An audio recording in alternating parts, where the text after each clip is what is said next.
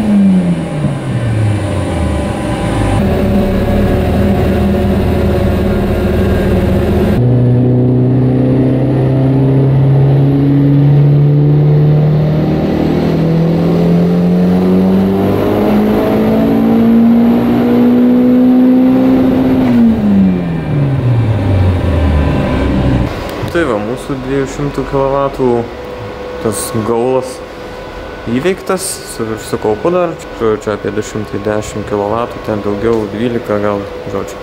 Supranti, galima pūstelti dar čia daugiau, bet tiesiog nenoriu rizikuoti ir, žodžiu, noriu, kad jinai pavažiuotų tą mašiną dar ilgiau biškį. Tai va, viskas atrodo neblogai, viskas čia žodžiu vietose, nieks niekur nieko nesispjaudo. Tai va, tikėkime taip ir bus. Apsižiūrim starlečiuką po visų reikalų, tai čia dabar kol kas dar nepasikėlim, bet iš viršaus atrodo viskas labai tvarkingai, nesitaško mūsų cipaliuką iš to vėlinėlio čia, kur leido, žodžiu. Tai jo, pasikelsim, pažiūrėsim, kaip atrodo iš apačios. Ir iš apačios vaizdelis labai neblogas, irgi niekur nieko. Viskas čia supranti tvarkingai. Tai tik tais čia matosi, kad reikia biški iš greičių dėžės ir panašu, kad leidžia per greičių, davik, nu, ten greičių, kur trosas statosi. Tai ta vieta, kur ten turbūt turėtų būti mandžetukas ir nežinau, ar jo nepakeitė, ar jo neįdėjo, bet esmė, kad biški leidžia. Tai reiks išimti ir pažiūrėti. Toliau dar matom, kad per alsoklį mano taip toliau vis dar po biškį įvaro. Žodžiu, greitų metų padarysim tą kačkeną ir padarysim viską tvarkingai, tą sistemėlę jau sugalvojau kaip, tik tai, kad reikia gauti aliumo skardos ir susivirint. Tai o dabar ką, manau, užmesim dar apsaugėlę čia variklio šio pačios, tiesiog, kad netaškytų čia visko, tuo labiau, kad nuėmiau čia tas apsaugas pagrindinio diržo ir bandysim pasivažinėti. Ir kaip žakutis atrodo, ogi atrodo jos puikiai visos vienodai dirba visi mišiniai, viskas labai gražu, man patinka.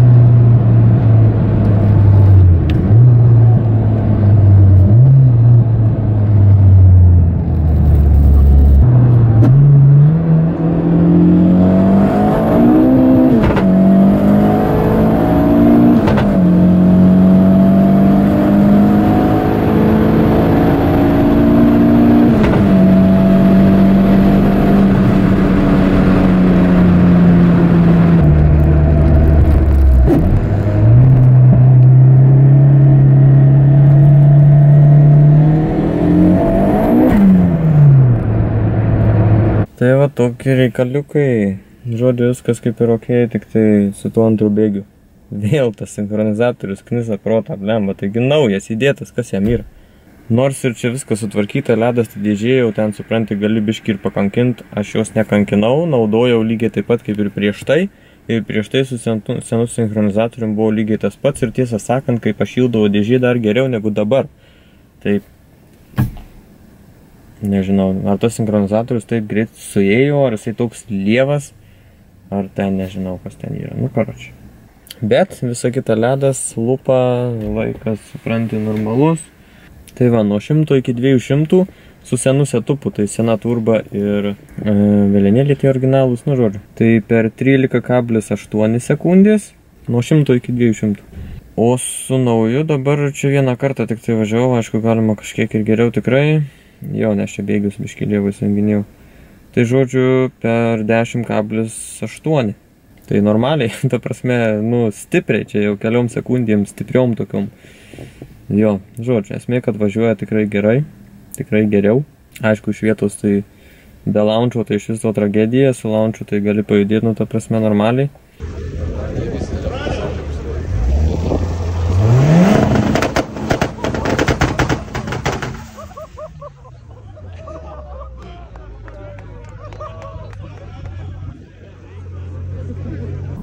Kągi čia turime, ogi Starletui Turbo downgrade'ą.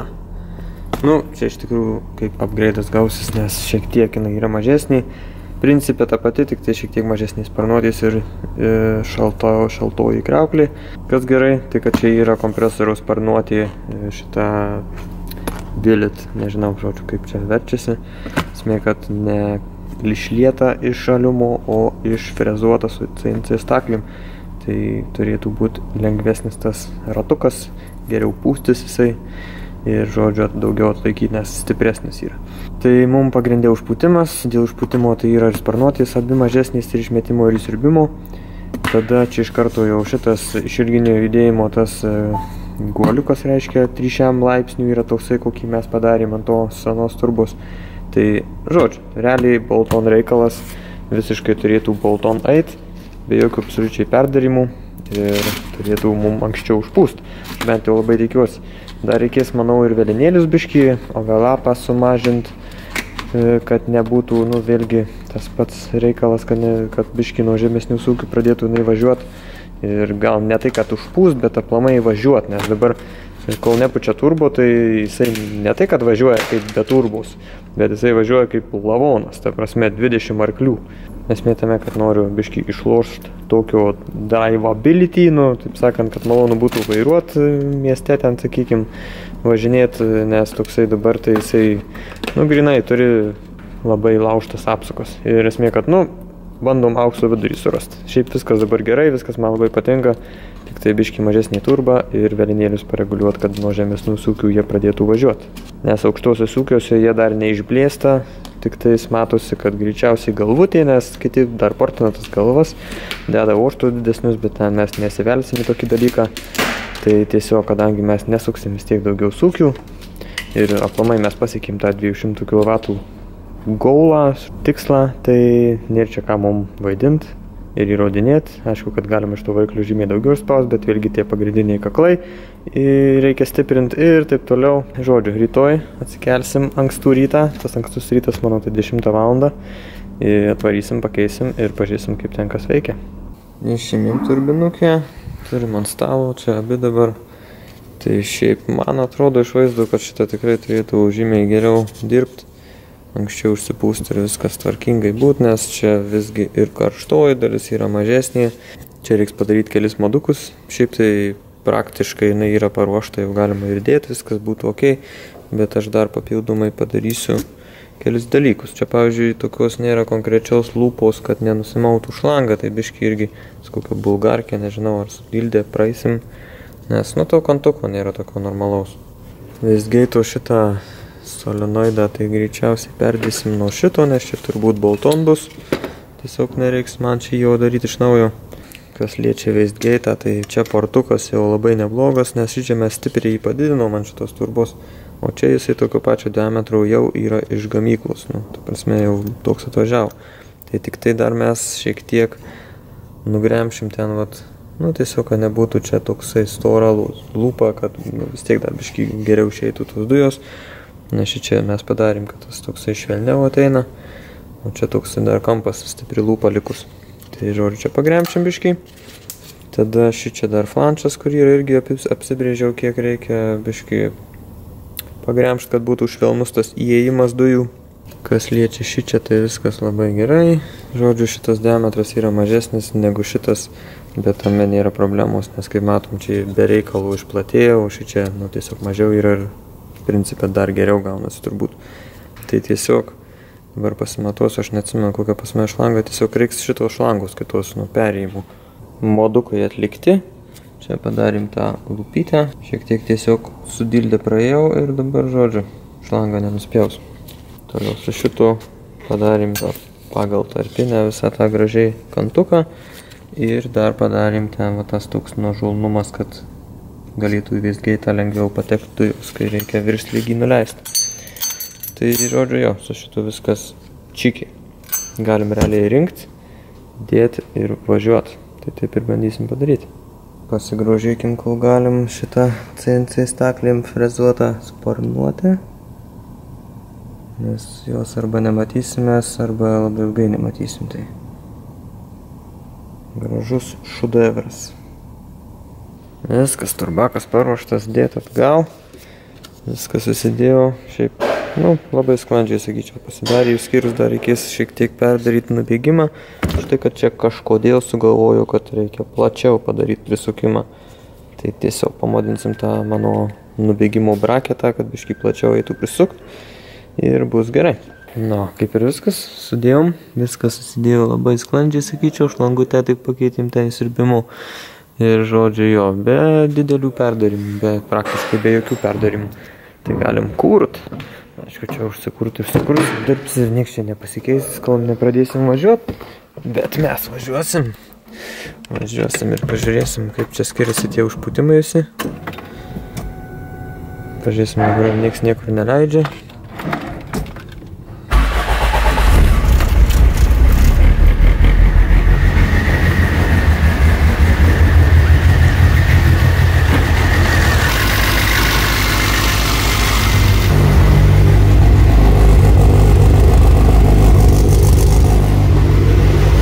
Dar pažiūrim, kas ten išmetime darosi, nes kai buvom čia tam mytę, tai sakė, kad kažkas iš išmetimo šovė.